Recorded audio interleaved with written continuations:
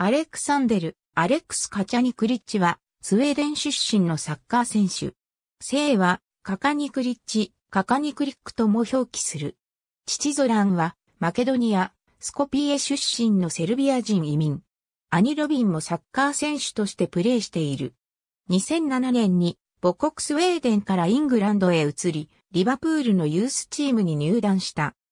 2008から09シーズン FA、ユースカップ決勝でのゴールなどで活躍を見せたが、2010年にポール・コンチェスキー獲得の代償として、同僚のフィンランド人、ストライカー、ラウリダラ・バッレと共に、フラムへ放出された。フラム移籍後はおよそ2年ほどの間リザーブチームで過ごし、2012年1月にワトフォードへレンタル移籍した。契約はシーズン終了までのものだったが、ワトフォードでの活躍が認められ、同年3月27日にフラムへ復帰、3日後の30日に行われたのリッジュ戦でプレミアリーグデビューを果たした。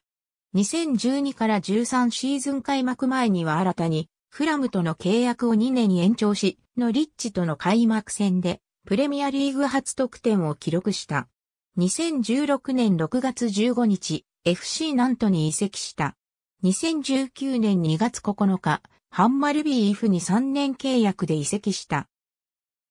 2021年2月15日、HNK ハイドクスプリトに3.5年契約で移籍した。ありがとうございます。